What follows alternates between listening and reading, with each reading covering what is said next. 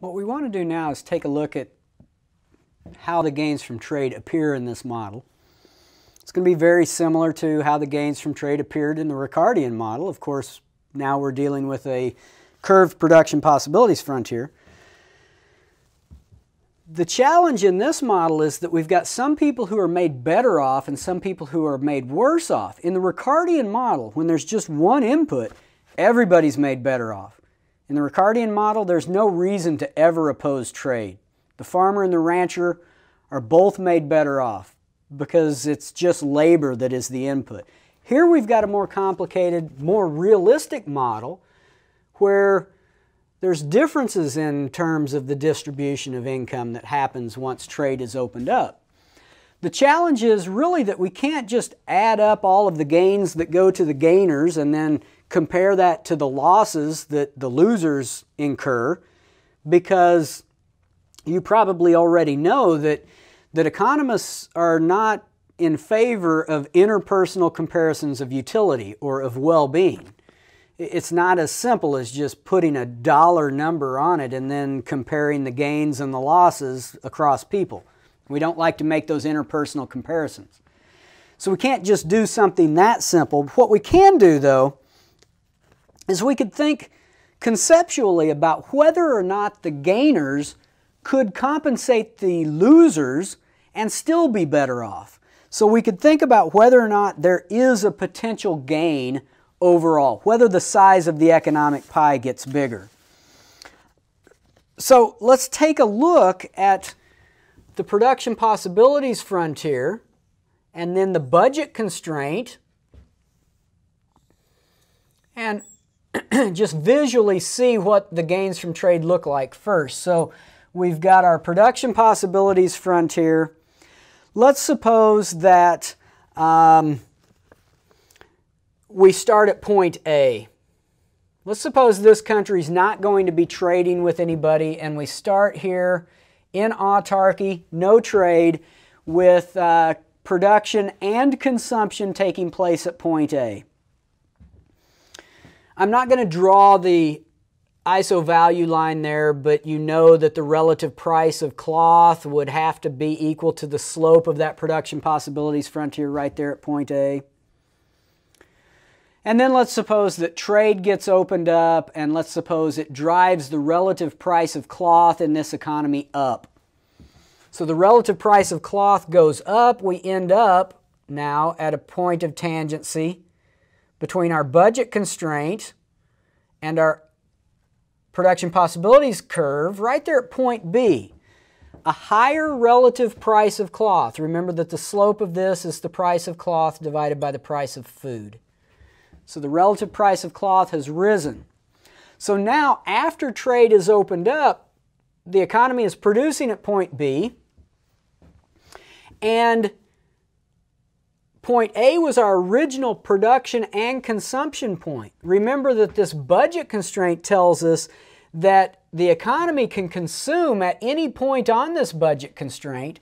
So what we see is that this opens up, if I draw a line vertically from A and horizontally from A, this opens up a range of production possibilities where consumers would have strictly more food and more cloth than they did at point A.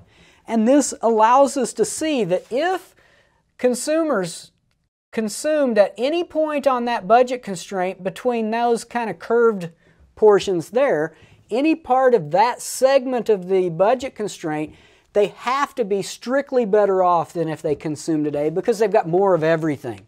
So this gives us a nice convenient graphical way of showing that the economic pie is definitely going to be bigger. That doesn't mean they have to consume at that point, but it allows us to make the uh, conclusion that there are gains from trade. Um, so let's just say that the result of this is that trade is potentially beneficial.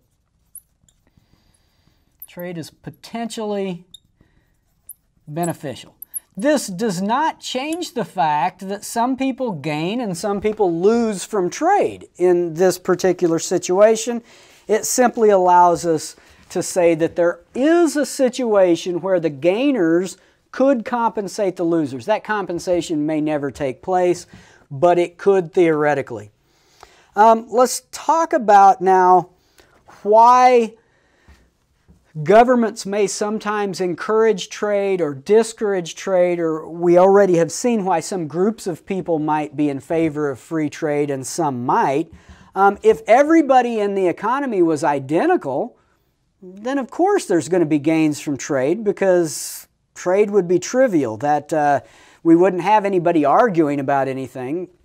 Let's talk about the clear case where people are not identical.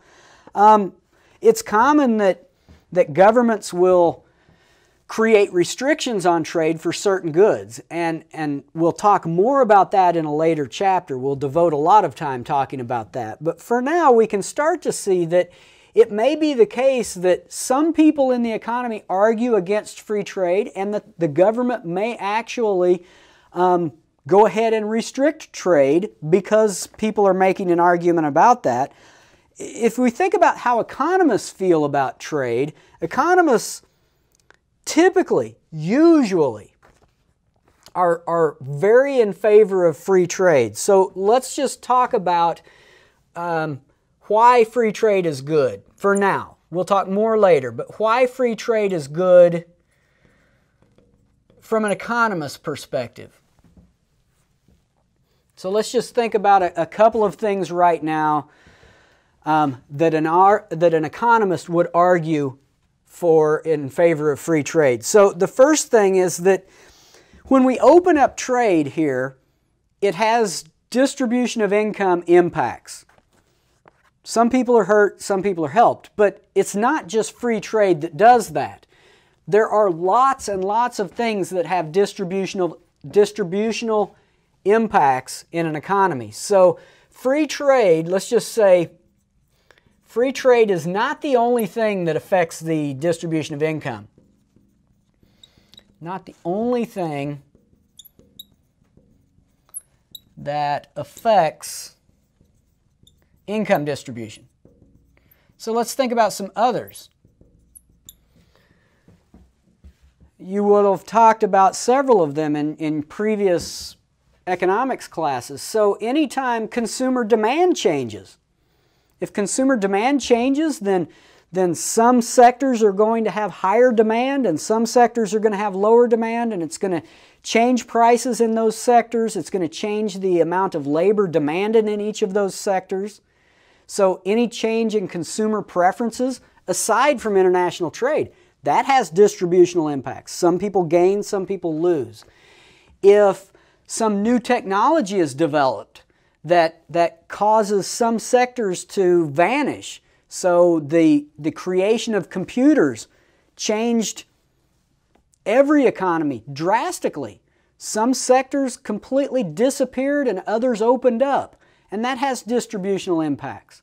So to oppose free trade simply because it has distributional impacts on, on income, we would need to oppose nearly everything if we're going to try to fight changes in the distribution of income.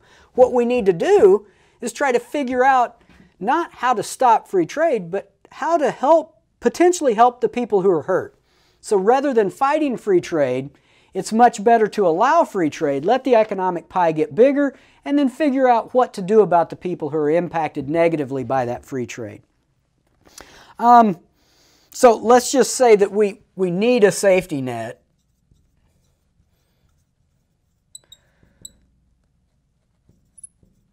Because some people are going to be hurt by trade and some people are going to be gaining by trade. Here's another thing that economists would argue in favor of free trade. Another reason.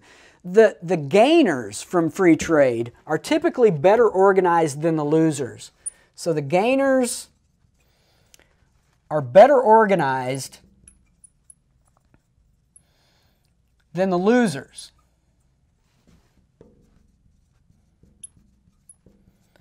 Here's what that means. If we think about the gainers from tr free trade. What we'll talk about a little bit later on this semester is that those who gain from free trade, it's actually typically a small group of people. And because it's a small group of people, each person in that small group tends to gain a lot.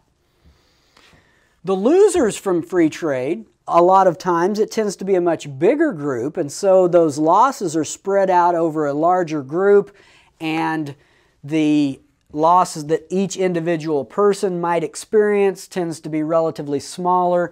The losers typically are less well organized, and so the gainers from free trade a lot of times make, make a much more effective argument towards the government as to why we should have free trade. This applies to other things. We'll talk about restrictions of free trade, and oftentimes those who gain from restricting free trade it's a smaller group, better organized, and so sometimes they're more effective at arguing against free trade. So this can work both ways. But this gives you kind of a, in a nutshell, a, a, a way of understanding why economists tend to argue for free trade. But again, we'll come back to more of that uh, in the future. So that's the, the end of this specific factors model. We'll kind of develop some of these ideas in uh, future chapters and future discussions that we have, but this gives you a good idea of why trade oftentimes is, is uh, supported by some groups and then opposed by other groups. So um, we'll talk more about some other models of trade in uh, future, future videos.